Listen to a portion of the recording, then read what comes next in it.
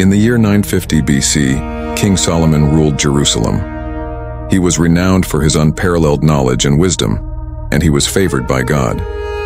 In stark contrast to his father David, renowned for his military prowess and the expansion of ancient Israel through conquests and annexations of territories, Solomon's legacy diverges along a different path. History remembers Solomon not for the clash of swords and territorial acquisitions, but for his wisdom and statesmanship. Unlike the tumultuous era of his father, Solomon's reign is marked by a unique distinction. He stands as the sole king in the annals of Israelite history who refrained from engaging in wars, rather than pursuing the traditional routes of territorial expansion through military might. Solomon's rule was characterized by diplomatic finesse and sagacity. His wisdom became the cornerstone of his reign, attracting alliances and trade, rather than engaging in the battlefield skirmishes that had defined his father's era. The pages of history turn, revealing a monarch whose strength lay not in the clashing of armies, but in the art of governance, trade agreements, and the construction of the iconic temple in Jerusalem. Solomon's reign, bathed in the glow of intellectual brilliance and peaceful prosperity, emerges as a contrasting chapter to the martial exploits of David. It is a testament to the multifaceted nature of leadership, one that showcases the transformative power of wisdom over warfare and establishes Solomon as a singular figure in the ancient Israel's history. Solomon lived an extraordinary life. His mastery extended far beyond the mere elements of nature.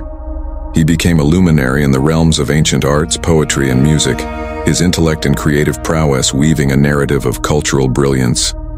The whispers of his accomplishments reverberated through distant lands and his reputation transcended the boundaries of wise rulership. Solomon was an intellectual who also delved into the intricacies of ancient arts, infusing creativity into his reign. His poetic expressions flowed like a river of eloquence, capturing the essence of his wisdom in verses that resonated through the corridors of time. Music, too, became an instrument through which he conveyed the harmonies of his enlightened rule. Yet, with such multifaceted brilliance, whispers of awe and mystery surrounded him. His mastery was so profound that, beyond the realm of wisdom, some began to view him not merely as a sagacious ruler but as a figure endowed with mystical powers, an enchanter of ancient arts, and a sorcerer who held the secrets of the mystical world. Solomon's legacy therefore became a mixture of wisdom, artistic finesse, and a touch of mysticism. Whether seen as a sovereign who harnessed the elements of nature, or as a conjurer of ancient arts, his reputation echoed through the ages, leaving an indelible mark on the perception of leadership, intellect, and the arcane. Whether humans or spirits feared him. His influence was so profound that kings and queens from near and far came to witness his opulence, wisdom, and mystical aura. Solomon adorned himself with the epitome of elegance, donning garments made from the finest linen. This attention to luxurious attire became another facet of his grandeur, enhancing the magnificence of his rule and further contributing to the awe and admiration surrounding King Solomon's name. Solomon's love for women was a chapter written in the eloquence of his poetry and the melodies of his music. His proficiency in these arts became a magnetic force that drew women to him like petals to the sun. In the lyrical cadence of his verses, Solomon painted portraits of passion and tenderness. His poetic expressions was woven with romantic hues and became a serenade to the hearts of those who listened. His ability to articulate the intricacies of love and desire, wrapped in the richness of metaphor and symbolism, created an enchanting allure that captivated the souls of those fortunate enough to be the objects of his affection. Solomon used music as a profound expression of his deepest emotions. His harmonies were not mere notes. They were love letters intricately written in melodies.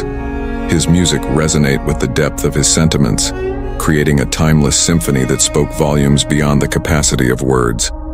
In the enchanting melodies he crafted, Solomon immortalized his emotions, leaving a legacy of love that transcends the boundaries of time, echoing through the ages as a testament to the enduring power of art and emotion. Despite his many wives and concubines, Solomon remained discontent.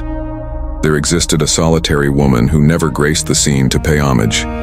Of all the rulers of the kingdoms of the world, her absence was conspicuous.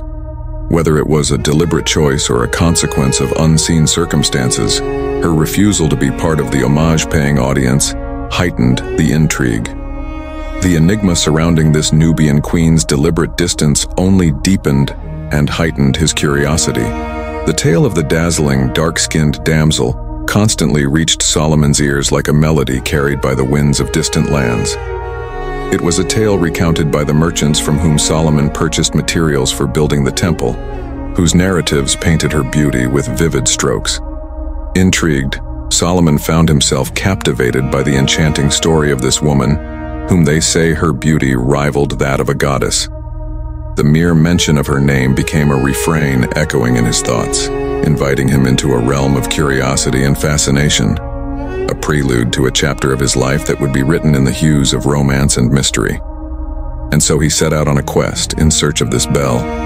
He embarked on a journey with a great retinue, with camels bearing spice, gold, and precious stones to meet her, traversing deserts and seas to reach Ethiopia, the land of the dark-skinned people. There he encountered Queen Makeba of Sheba. The moment Solomon's eyes beheld the Queen of Sheba, time seemed to pause, and the air shimmered with an ethereal glow. In that instance, he stood captivated, his breath caught in the awe of her presence. Her beauty, far surpassing the tales that had reached him, unfolded before him like a masterpiece unveiled. The queen's regal grace and beauty surpassed the boundaries of his imagination, leaving him in silent reverence. Her every movement seemed choreographed by an unseen force and her gaze held a depth that spoke of untold stories. Solomon, renowned for his wisdom, found himself momentarily at a loss for words, swept away by the radiance of her being, but concealed his surprise. Yet, within the depths of his heart, a desire emerged. His entire soul began yearning for her as a prized jewel waiting to be possessed.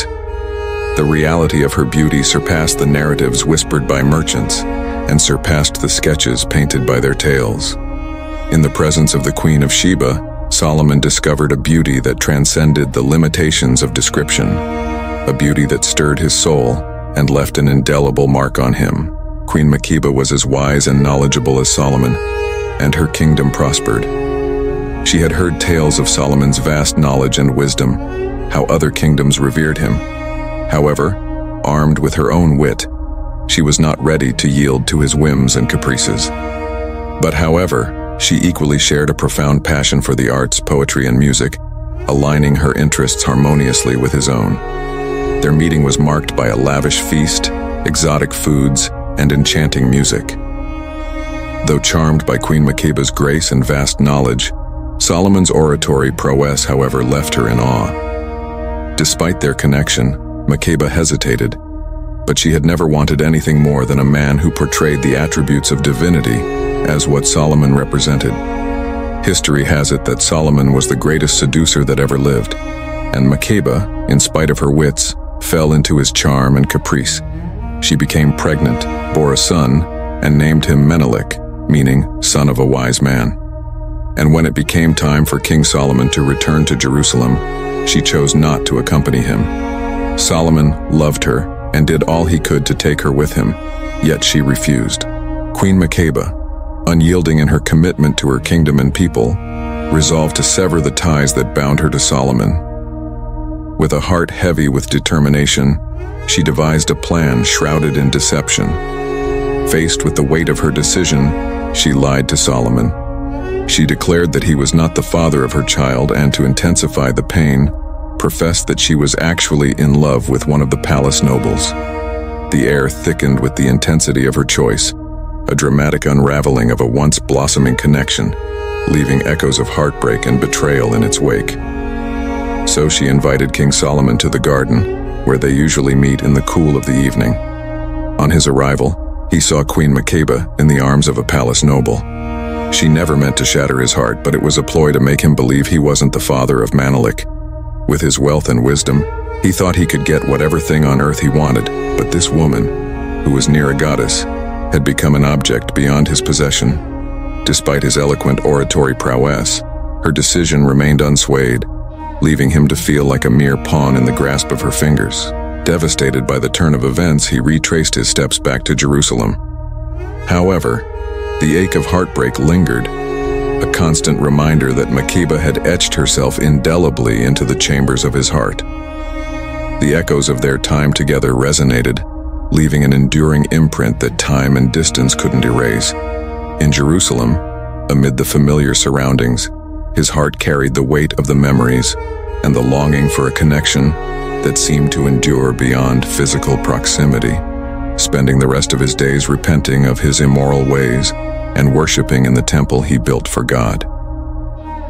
In the interim, Menelik, the son of Queen Makeba of Sheba, held sway as the ruler of Ethiopia, a legacy that endured for centuries until the 20th century. The once unbroken line of their dynasty faced a significant juncture when Emperor Haile Selassie, in an epical moment, dethroned the age-old lineage, marking a profound shift in Ethiopia's governance and history.